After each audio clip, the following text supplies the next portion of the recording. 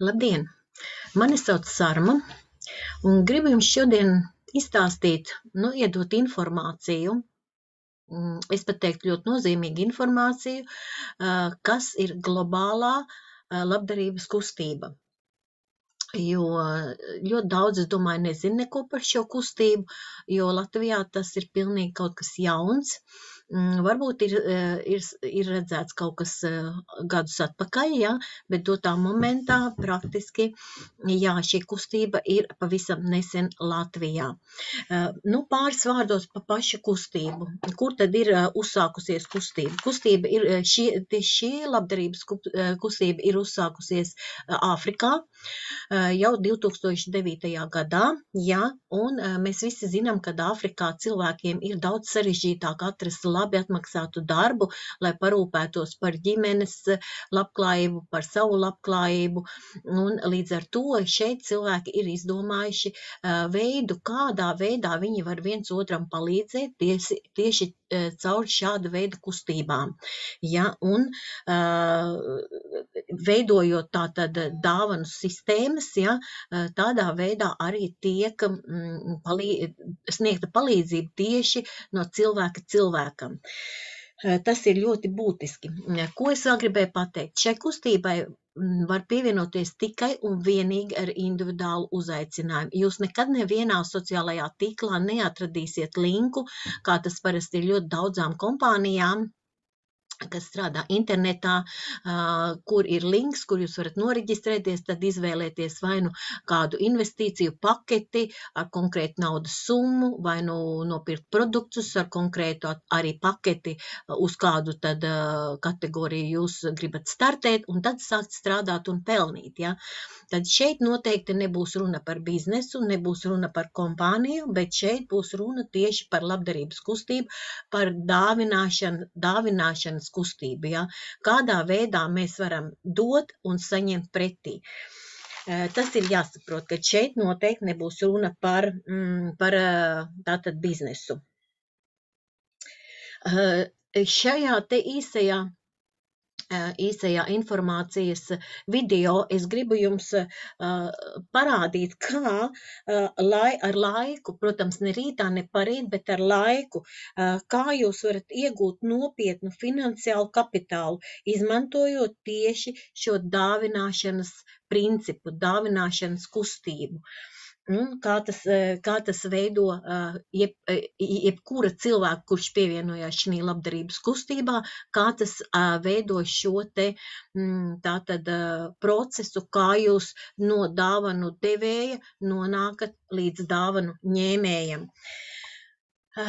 Tālāk, ko es gribēju jums pastāstīt ļoti īsi pašā sākumā, tātad pašu vīziju. Mm, kas tad ir šīs kustības vīzija? Nu, primārais, lai ik viens varētu sasniegt labklājību, ik viens, kurš pie, pievienojās šai kustībai, eh, varētu sasniegt eh, labklājību. Katram, protams, mums ir savs redzējums uz to visu, tieši tādēļ šeit ir ļoti daudz izvēles iespējas, ko un kā jūs varat virzīties šī kustībā. Pati misija. nu, runājot vairāk par mani, par mani, kā es to redzu, un es domāju, ka arī ļoti daudz mani kolēģi, ja pieņemsim, es esmu uzrunājusi cilvēku un iedevusi informāciju par šo kustību, ja, vai kādam savam draugam vai cilvēkam caur internetu, kas ir uzzinājis eh, no manīm šo informāciju vai caur manīm, ja, tad man ir ļoti svarīgi ja, palīdzēt šim cilvēkam sasniegt rezultātu. Tā ir tā misija, ja, kad šeit ir jāpalīdz vienam otram. Mēs te strādājam no rokas rokā, jo šeit noteikumi visiem ir absolūti vienādi, neatkarīgi no jūsu sociālā stāvokļa, vai jūs esat bagāts, vai jūs esat vidēji nodrošināts, vai jūs esat maz nodrošināts. Šajā kustībā mēs visi ienākam absolūti vienādi vienādi un izejam ārā ar absolūti vienādiem tātad šiem te papildus ienākumiem. Šeit nav atkarīgs no procentiem, šeit nav atkarīgs no tā, cik jūs esat eh, bagāts, šeit ir atkarīgs no tā, kā jūs izdarat ļoti vienkāršas lietas, kā jūs kustaties šī tātad algoritmā. Tas ir ļoti svarīgi saprast. Ko tad nozīmē šī glo, globālā labdarības kustība? Nu, jūs redzat, šeit ir tātad dāvanas. Dāvanas mēs varam saņemt ļoti dažādi. Mēs varam uzdāvināt cilvēkam dāvanas, mēs varam uzdāvināt mašīnu, mēs varam uzdāvināt māju, bet ja mēs skatāmies šeit, ja, tad šeit mēs redzam tātad 100 dolāru banknoti. Un man, man daudz ir teikuši, kurus es esmu uzrunājusi, viņi saka tā, nu, ja nav produkta, tad tā ir piramīda un tas, tas noteikti nestrādā. Nu, teikšu tā, ja 100 dolāri banknote nav produkts, es varu ļoti strīdēties par šo viedokli. Kāpēc? Ja es pieņemsim uzdāvināšu savam kaimiņam, kuram dotā momentā ir problēmas, viņam varbūt nav darba un viņam nav par ko nopirkt maizi vai pienu bērniem, ja? un es viņam uzdāvināšu 100 dolāru banknoti, tas ir, tā ir reāla lieta, tā ir banknota, tas nav tukšs gaiss. Viņš ar šiem 100 dolāriem aizies uz veikalu un nopirks bērnam pārtiku vai nopirks bērnam zābakus vai ja tā jebko, kas viņam tanī mirklī atrisina viņa varbūt vissāpīgāko problēmu. Savukārt, ja jūs saņemat astoņas šādas banknotes, tad jau jūs uz lietām varat sākt skatīties pavisam savādāk. Ja? Tur, tāpēc es saku, ka jā, kad arī 100 dolāru banknote ir produkts, un tieši tāpēc no rokas rokā nododot šo banknoti, neatstājot nekādās kompānijās un nesaņemot pretī mazu procentu, šeit ir šī garantija, ka tas ir no rokas rokā, tas ir dāvinājums. Jā, šis ir finansiāls dāvinājums, bet viennozīmīgi tas ir dāvinājums. Tā, vispasaules ziedošanas process, kas tad tas īsti tāds ir? Nu, tā tad dāvināšanas procesa mūžīgā ekonomika. Nu, ekonomika arī mums ir ļoti dažāda, ja? un uh, es vairāk uz šo lietu varētu skatītos tā kā uz savu ģimenes ekonomiku, ja? Uh, kad dāvināšana kā tāda, ja, viņa nekur pasaulē nav aizliegta, tas ir legāli, jūs varat dāvināt, ja? jūs varat dāvināt tā jebko, ja? un mēs zinām, ka mūsu politiķi ļoti bieži šo te dāvināšanu izmanto savās tātad kampaņās, tad, kad viņi uh, grib tikt savos krēslos, ja? Un tad man rodās jautājums, kāpēc mēs nevarētu izmantot šo te visu uh, sistēmu, lai arī viens otram palīdzētu tieši šī te dāvinājumu, dāvināšanas procesā. Ja? Uh, sevis un, ekon, un kopienu attīstīšana. Ko tas īsti nozīmē? Tātad šī kopienā, šī kustībā ir iespējams apusē. Jūs varat šeit pievienoties kā privātpersona, jūs varat pievienoties kā kopiena vai kā fonds, ja, kā labdarības fonds. Mēs zinām ļoti daudzus fondus, kas tātad palīdz bērniem, palīdz sievietēm, palīdz veciem cilvēkiem un pat dzīvnieku patversmēm. Ja. Tā kā ir ļoti dažādi fondi, par vienu es jums vēl mazliet vēlāk parādīšu. Ja. Tā tad ir abas šīs puses ietvertas šī kustībā. Un, protams, kopā veidos, veidojot labklājību, jo ja mēs to darām kopā, mēs palīdzam viens otram, tad arī mēs visi nonāksim pie šīs labklājības. Mēs visi saņemsim šīs dāvanas un visi sajutīs šo, gan šo dāvināšanas prieku, gan šo saņemšanas prieku. Ziedojumu ekonomika. Ja? Finanšu ziedojumi visā pasaulē tiek praktizēti jau gadsimtiem ilgi. Tas ir absolūti legāls process. To neviens nav nekur aizliedzis. Ja? Tas, tas tā nav nekāda sekta. Ja? Tas ir jau gadsimtiem attīstīts process, kādā veidā cilvēki var palīdzēt viens otram. Āfrikā to sauc par stokfel. Ja? Tā ir vairāk kopienas kopienas, kas palīdz viena otrai tieši uh, trūcīgajos reģionos, kur ir dažādas kopienas. Tur cilvēki sanāk kopā pa četriem un uh, tādā veidā sāk uh, veidot šo te dāvināšanas sistēmu. Katrs izvēlās pilnīgi savu veidu, kā viņš šai kopienai var pievienoties. es atvainojos. Un tas ir absolūti simtprocentīgi likumīgi un gadu desmitiem tiek izmantots. Tā kā nu, par, par šo pusi nav ne maž, mazāko bažu.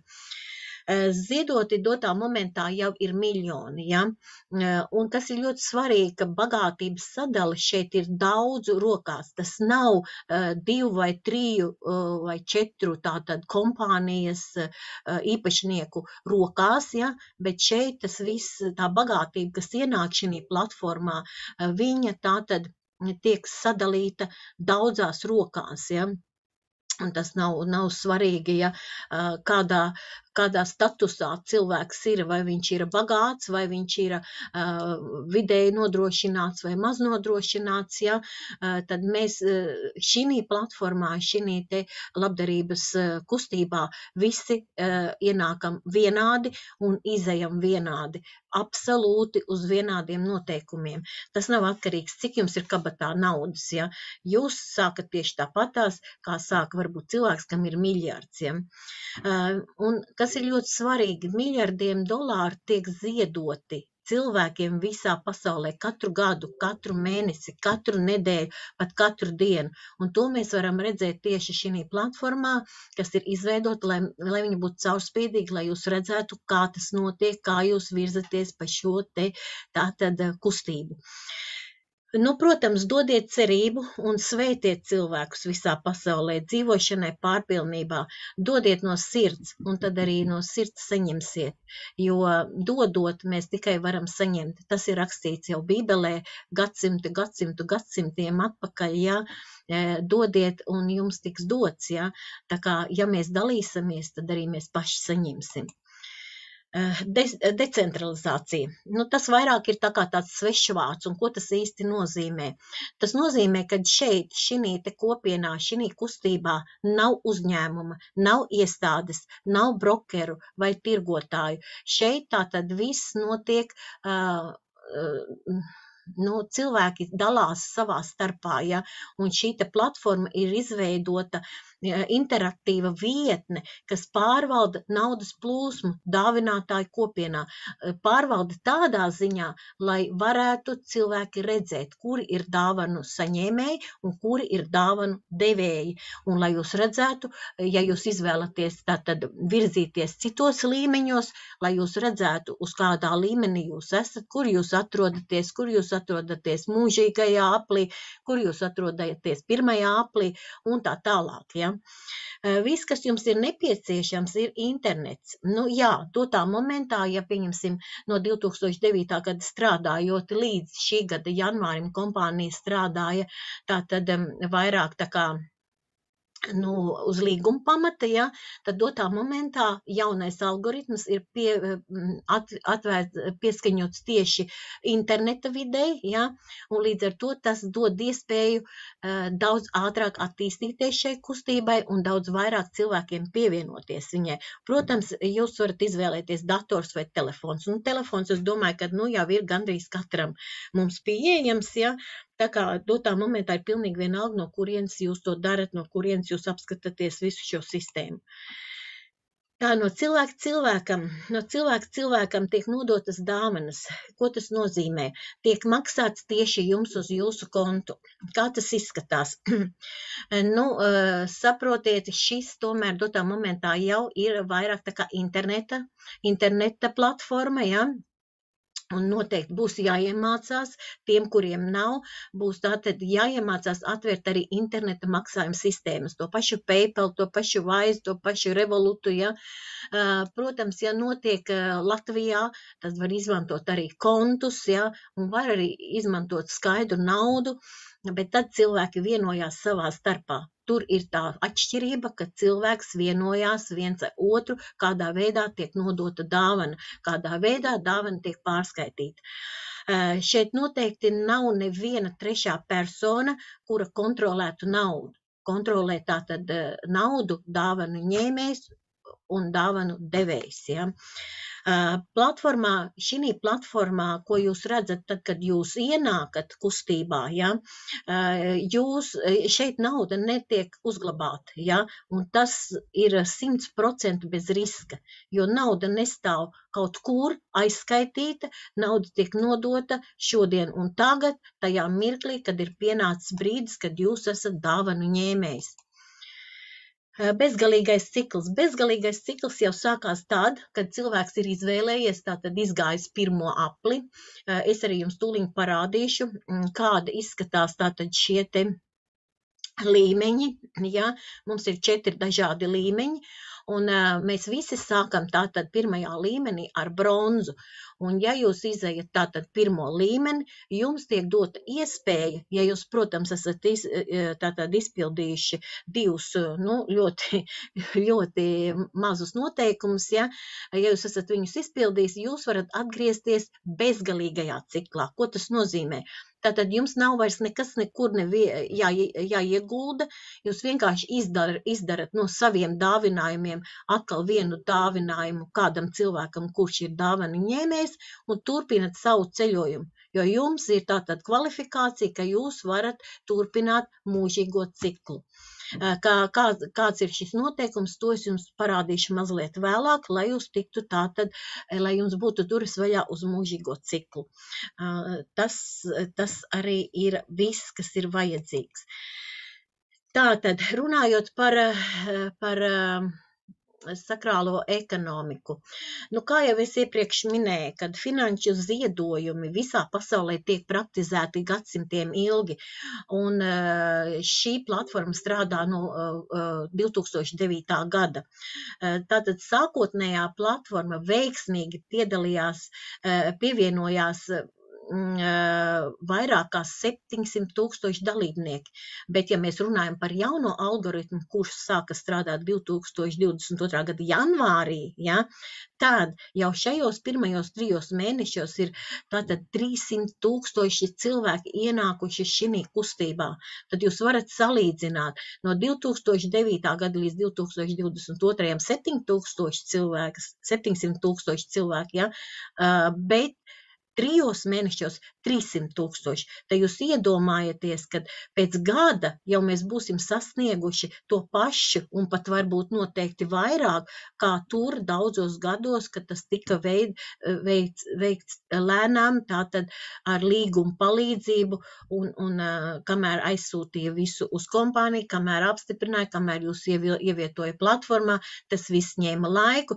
Tagad tas viss ir atrisināts, tas viss notiek ļoti ātri, ja, un jūs ļoti ātri redzat, kur jūs atrodaties, kā jūs virzaties, kā jūs saņemat tātad savus dāvinājumus. Tā šeit atgriežoties pie šiem te tātad labdarības biedrībām, lab, labdarības fondiem, tad šī sieviete ir Sautāfrikā atvērusi šādu te sievietēm fondu sievietēm, kas ir cietušas no vardarbības. Mēs zinām, ka nu, Āfrikā ir diezgan nu, mazliet citi uzskati starp sievieti un vīrieti. Ja? Un tad šeit sievietes noteikti cieši vairāk no šīs labdarības, un viņi ir izveidojusi šādu te fondu, kas palīdz tātad sievietēm sākt visu no jauna, atgriezties dzīvē no jauna. Un, protams, tam visam ir vajadzīgs finanses, un arī viņa ir tātad šī platformā un ļoti veiksmīgi tātad attīsta šo platformu tieši caur šo te Mm, dāvināšanas sistēmu. Ja? Tā kā, ja kam interesē, varat ielikt Google jā, šo te uh, fonda nosaukumu un Google viņu izmet, jūs varat palasīt, paskatīties, uh, tur ir daudz interesantas lietas atrodams. Nu, tad ļoti īsi divos slaidos es jums gribu parādīt, kas tas īsti, kā tas īsti izskatās, ja, un kādi tad ir šie līmeņi. Nu, tā tad pirmām kārtām pievienojoties, kā jau es minēju, ir dāvanas, ko mēs dodam, un ir dāvans, ko mēs saņemam. Tātad, tad, kad mēs pievienojamies šai kustībai, mums vienreiz dzīvē ir jāizņem no sava makas 100 dolāri, lai varētu uzdāvināt cilvēkam, kurš ir tātad dāvans ņēmējs. Ja? Un savukārt, tad, kad algoritms jūs no, no dāvinātāja būs aizvedis līdz leģendai, līdz dāvanu ņēmējam, jūs saņemsiet 800 dolāru dāvanās. Tieši tik vienkārši, vairāk nekā tur sarežģīta nav. Tātad eh, platformā ir četri dažādi līmeņi. Jā, pirmais tā tad ir bronza, tad ir sudrabs, tad ir uh, zelts un tad ir platīns. Katrā līmenī jūs noteikti startējat ar citu summu, un šeit ir pilnīgi brīva izvēle. Jums noteikti nav obligāti jāiet uh, uz pārējiem līmeņiem, jūs varat visu laiku palikt bronzā, jūs varat iet no bronzas tālāk uz sudrabu, no sudraba uz, uz tātad. Zeltu, no zelta uz platīnu. Vai arī jūs varat visu laiku uh, palikt mūžīgajā bronzā un saņemt tātad visu laiku šeit. Vienīgais ir šeit viena nianse, kad ir jārespektē cilvēki, kuri seko jums. Jo, ja jūs nesakosiet uz silveru, bet šie cilvēki gribēs sekot uz silveru, tad būs jāsakontaktējās ar cilvēkiem, kuri iedeva šo informāciju, lai mēs šos cilvēkus, kas grib pievienoties uz tālākajiem līmeņiem, varētu ielaist tātad šī platformā, lai viņi neaizietu prom no mūsu kopienas, no Latvijas kopienas, ja? lai viņus neiemestu kaut kur Āfrikā vai Amerikā, kur viņi būs vieni paši un mums būs ļoti grūti viņiem piepalīdzēt. Tā ir vienīgā nianse. Nu, tad man ļoti daudz saka, tā, nu, jā, zini, man ar to matemātiku tur ir kā ir, un pa tiem galdiem tur jau viss izskatās skaisti, skaisti un, bet man interesē cipari. Nu, ja runājam par cipariem, nu, primārais viennozīmīgi ir tātad pirmais solis. Ja mēs pieņemam lēmumu un pievienojamies šai tātad labdarības kustībai, tad pirmajā mēnesī ir ļoti svarīgi, lai jūs saņemtu savus pirmos 800 dolārus. Ja? Un tam visam ir tikai divi mazi noteikumi. Par tiem noteikumiem arī uh, runāsiet ar, ar cilvēkiem, kas, jūs, kas, kas iedeva šo informāciju, caur ko jūs uzzinājāt šo informāciju, vai arī vienkārši mēs liksim informāciju, kad ir webināri, uh, kur jau ļoti sīki soli pa solim mēs izstāstam, kā veidojās tātad, kādi ir noteikumi, lai jūs saņemtu tātad visu, visu to, kas pienākās uh, pēc šī algoritma. Ja? Tātad pirmā kā kārta. Tad, kad mēs izējām visus šos četrus līmeņus, tie, kas vēlās iziet visus četrus, tad jūs saņemat 42 700 dolārus. Ja? Tas ir tas, tās dāvanas, ko jūs saņemat. Savukārt, ja jūs jau ejat atkārtotajā, bezgalīgajā līmenī un tātad atgriežaties atkārtoti gan bronzā, gan sudrabā, gan zeltā, gan platīnā, tad jūs, izējot cauri šiem līmeņiem, saņemat nu, gandrīz 50 tūkstoši dolāri. Matemātika ļoti īsa. Tur var pasēdēt ar kalkulātoru un paskaidīt, bet nu, šeit es uztaisīju tā, lai tas ir īsi un saprotami. Tad vēl viena atruna, ja, kad jums ir jāsaprot, ka šī prezentācija ir paredzēta tikai un vienīgi, lai es jums nodotu šo informāciju, kad ir šāda te platforma, kurā jūs varat tātad uh, piedalīties kā, kā labdarības, uh, nu tā patiesībā ir lab, labdarības kustība, ja, jūs varat piedalīties šajā labdarības kustībā un tādā veidā arī gūt papildus ienākumus. Ja?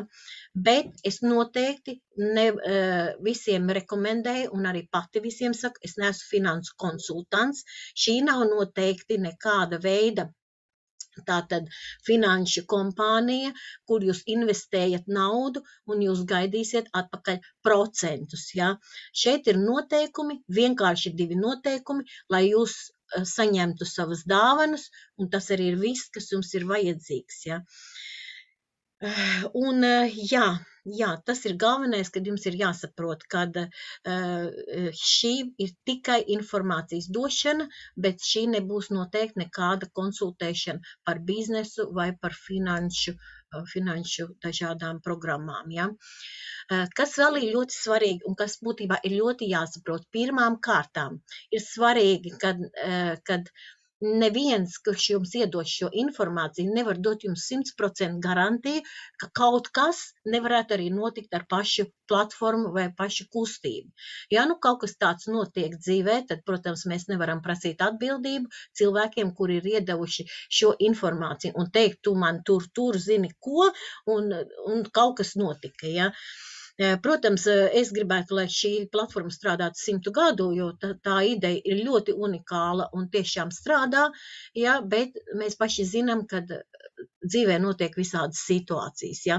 Un, protams, katram, katra dalībnieka panākumi un veiksmes būs atkarīgas no viņa vēlmes palīdzēt citiem un ievērojot mantojuma dāvināšanas ētikas principus tie ir jāievēro. Tās ir lietas, nerakstītas lietas, kuras mēs visi zinām, ja, kad uh, tikai palīdzot viens otram, mēs nonākam pie rezultāta, un arī ir sava ētika, kas ir jā, jāzina un jāizmanto tātad strādājot šī sfērā. Ja. Uh, un katrs dalībnieks ir atbildīgs par savas valsts nodokļu likumdošanas ievērošanu. Mēs zinām, ka katrā valstī ir noteikts tātad noteikts uh, summa, ko jūs varat saņemt dāvanās. Uh, nu, mēs, mēs zinām, daudzi politiķi izmanto šīs sistēmas, ja, jo var tādā veidā norakstīt šo naudu, bet tiklīdz ja jūs naudu laižat visu caur jūsu bankas kontu, jums ir jāzina, kad jums ir jāsāk maksāt nodokļi. Nu, tā tas ir, ja. Nu, lūk, tad vēl Otrakārt, kas ir divas lietas, kas jums ir noteikti jāatcerās un jāzina, pirms jūs vispār pievienojaties šeit, ka tad, kad jūs izlemjat pievienoties, jums noteikti ir jāsazinās ar leģendu. Leģenda ir tas cilvēks, kas ir dāvanu saņēmies, kas saņem astoņas dāvanas. Un jums ir jāsazinās, lai jūs nosūtītu tātad savu finansiālo dāvanu, 100 dolārus, tieši šim cilvēkam. Tā kā viņš tur jūs atrunāsiet kur viņam ir vēlams saņemt, un jūs atkal varat teikt, vai jūs varat uz turieni pārsūtīt, ja ir kaut kādas problēmas, sazināties ar augšējiem cilvēkiem, kuriem ir dažādas maksājuma sistēmas, kuri var, var palīdzēt šo lietu sakārtot. Ja? Un otrā, otrām lietā, kas ir jāatcerās, lai turpinātu kustēties un atkal saņemt dāvanas tātad mūžīgajā šī te saņemšanas aplī, jums ir nepieciešami tikai divi sekotāji. Nu, tas ir vairāk tā kā mūsu kopējais, kāpēc es saku, mums vienam otram ir jāpalīdz, ka tā tad ir šie webināri, ir šīs te tikšanās, zoom tikšanās, kur mēs stāstam, kur mēs rādam, kur mēs izskaidrojam. Jums ir tikai jāpa, jāpalūdz šiem te paziņām vai draugiem atbra, atnākt uz šo te webināru, paklausīties, un tādā veidā mēs palīdzam atrast jums šos sekotājus, vai nu arī ir visādas dažādas citas metodas, kuras mēs tad vēlāk arī atrunājam, kādā veidā mēs varam palīdzēt jums atrast šos sekotājus. Lūk, tās ir tās lietas, kas noteikti ir jāatcerās, pirms jūs pievienojaties šai kustībai, lai vēlāk nebūtu negācijas, kur jūs man ievilkāt un tā tālāk. Ja? Tās lietas ir jāsaprot. Nu, protams, paldies visiem tiem, kam bija pacietība un noklausījāties līdz galam. Atgādināšu vēlreiz, ka, ja ir radusies interesi noteikti sazināties ar cilvēku, caur kuru uzzinājāt informāciju, ja, caur kuru tātad klausaties šo informāciju, un, protams, mēs ar prieku palīdzēsim jums ie, iejusties mūsu globālajā kustībā un sasniegt uh, rezultātus jau pirmajā mēnesī. Uh, nu, gaidīšu jūs otrā pusē, tātad mūsu kustībā. Visu jauku, jauku vakaru un uz tikšanos nākošajos video. Atā, atā! Mm-hmm.